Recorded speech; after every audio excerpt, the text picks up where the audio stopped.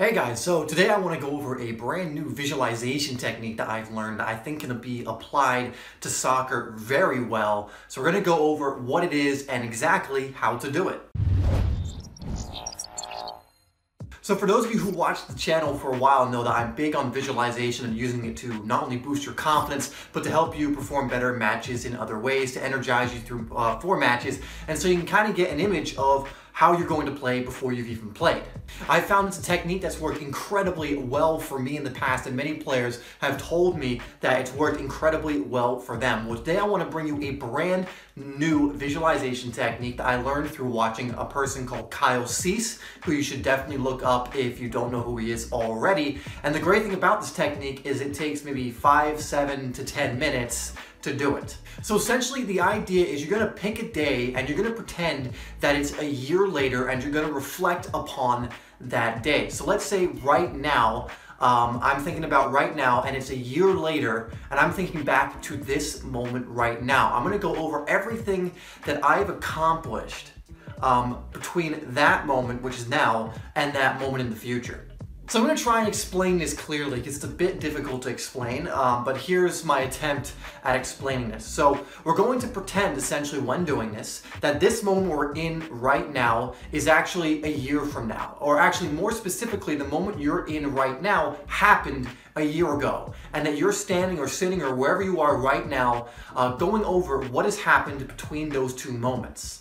Now you don't have to use a year, you can use this for a day or a week or a month. You know, the time frame can be different. So let me give you a very easy example. Let's do one day. So what I would do is I would pretend that today actually happened yesterday and I'm sitting right here talking about what has happened in between those two days. And you would do the same thing for whether it's a week, a month, or a year, or however long you want it to be. So for example, if I wanted to do a month for about five minutes, what I will do is set a timer and I will go over everything without even thinking of what I've done in that month. So let me give you an example. Let's say um, I'm doing it from that perspective that it's been a month. And right now, this day, a month has passed since what this day actually is. So a month ago, I was making this video. What has happened in the month um, from my making this video. So I might start and I would do this completely from the heart. So I'll do one for you right now, which is completely unscripted. I'm not thinking of anything ahead of time.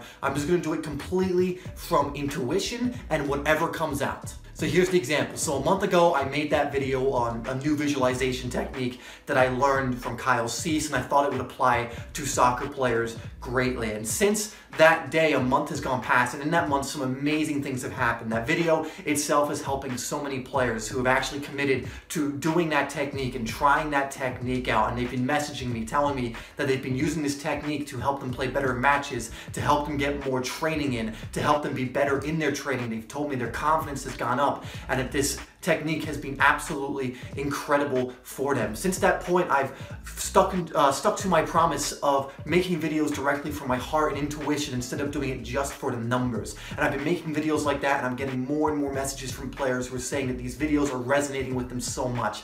Um, and as a result, my channel is still starting to grow, but I'm making sure that it's the secondary thing that I want for my channel. And the first thing that I want to happen is to make sure I'm making videos that I like and I'm passionate about and that come from the heart. And that's what I've been doing um, over the last month since I made that visualization video. And the greatest thing, again, is I've been having such an impact with this one video. And it's amazing how one video can have such an impact and help so many people. And the amount of players that are reaching out to me, telling me that it's helping them is overwhelming and it's so great. And in that time period, I've also made some other really powerful videos. Again, just from my intuition, just from my heart, not ones that were from my head or were made just to get views. And people have been telling telling me how much they have been helped by those videos, by doing the techniques I've put in those videos, the practices or the drills, and it's been absolutely incredible. I've been feeling great all month. I've been getting closer to myself, connecting with more people, helping more people, and it's just been absolutely fantastic.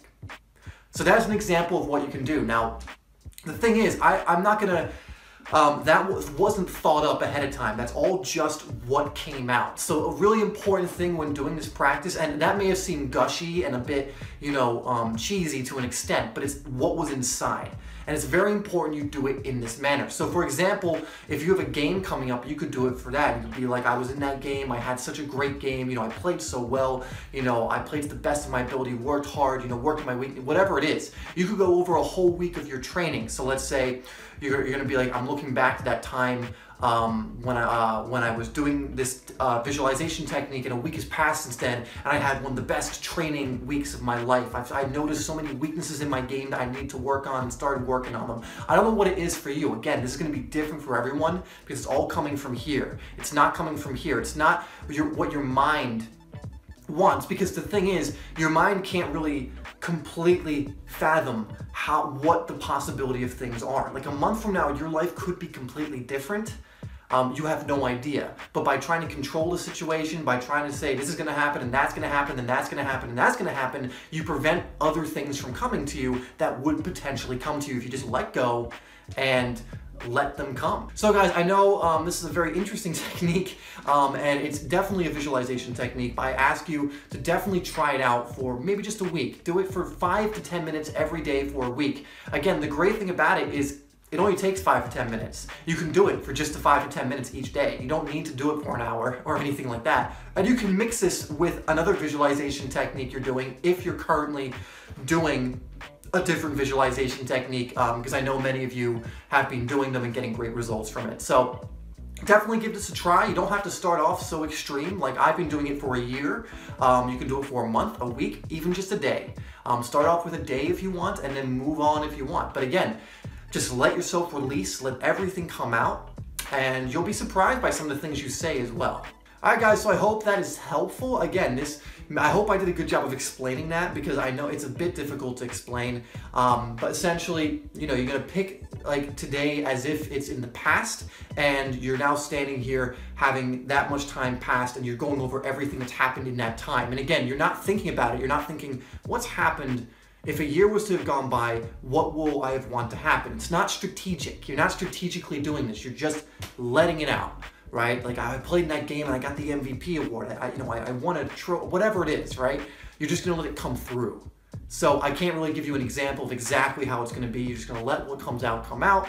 Um, and it's a great way to also kind of see what you truly want sometimes. All right, guys, thank you for watching. Um, I also want to thank uh, everyone who watched my video yesterday with the uh, channel update and for the support I've been getting um, since making that video with you guys, you know, being very, very understanding about it. Um, and I really, really appreciate that. Just uh, know that I really, really, really appreciate that. So thank, uh, thank you guys so much. Definitely like, share, and sub if you're new. Um, and if, if, you're not new, like and share if you want. Uh, thank you so much for watching, and I'll see you in the next video.